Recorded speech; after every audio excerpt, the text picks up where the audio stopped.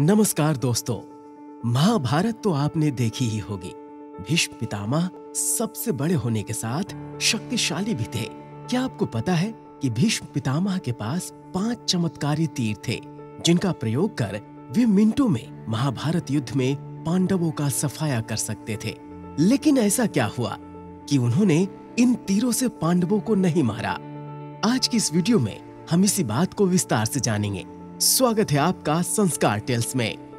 ये उस समय की बात है, जब कुरुक्षेत्र में महाभारत का युद्ध हो रहा था। आप तो जानते ही हैं कि भीष्म पितामह कौरवों की ओर से युद्ध लड़ रहे थे। लेकिन कौरवों के सबसे बड़े भाई दुर्योधन को लगता था कि भीष्म पितामह शक्तिशाली होने के बावजूद पांडवों को नुकसान नहीं पहुंचाना चाहते हैं। इसी सोच में डूबा दुर्योधन भीष्म पितामह के पास पहुँचा। दुर्योधन ने पितामह से कहा कि हे पितामह मुझे तो लगता है कि आप पांडवों को मारना ही नहीं चाहते। इसलिए आप किसी शक्तिशाली शस्त्र का उपयोग नहीं कर रहे हैं। दुर्योधन की बात सुनकर भीष्म पितामह बोले पुत्र अगर तुम्हें ऐसा लगता है तो मैं कल ही पाँचों पांडवों को मार गिराऊँगा। मेरे पास पाँच चमत्कारी तीर हैं। जिनका उपयोग मैं कल युद्ध में करूँगा। भीष्म पितामह की बात सुनकर दुर्योधन बोला हे पितामह मुझे आप पर भरोसा नहीं है। इसलिए आप ये पाँचों चमत्कारी तीर मुझे दे दीजिए। मैं इन्हें अपने पास सुरक्षित रखूँगा। भीष्म पितामह ने वो पाँचों तीर दुर्योधन को दे दिए।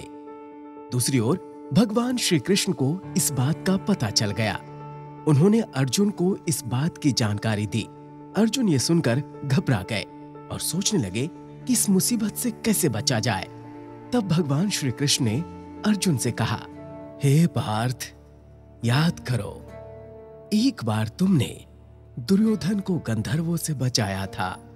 तब दुर्योधन ने तुमसे कहा था कि इस एहसान के बदले तुम भविष्य में मुझसे कुछ भी मांग सकते हो। ये सही समय है, पार्थ। तुम दुर्योधन से वो पाँच चमत्कारी तीर मांग लाओ।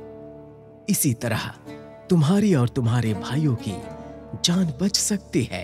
भगवान श्री कृष्ण की सलाह पर अर्जुन ने जब दुर्योधन को उसका दिया वचन याद दिलाया और पाँच तीर मांगे तो दुर्योधन मना नहीं कर सका। दुर्योधन ने अपना वचन निभाया और वो तीर अर्जुन को दे दिए। इस तरह भगवान श्री कृष्ण ने अपने भक्त पांडवों की रक्षा की। तो दोस्तों, देखा आपने कि भीष्म पितामह के पास अपार शक्ति होते हुए भी वे भगवान श्री कृष्ण की लीला के कारण पांडवों को हानि नहीं पहुँचा सके। इसी प्रकार की रोचक धार्मिक प्रसंगों को सुनने के लिए हमारे इस चैनल को लाइक, शेयर और सब्सक्राइब करें। और हाँ बेल आइकन ज़रूर दबाएँ ताकि लेटेस्ट वीडियो का नोटिफिकेशन सबसे पहले आप तक पहुँचे। पूरा वीडियो देखने के लिए धन्यवाद। नमस्कार।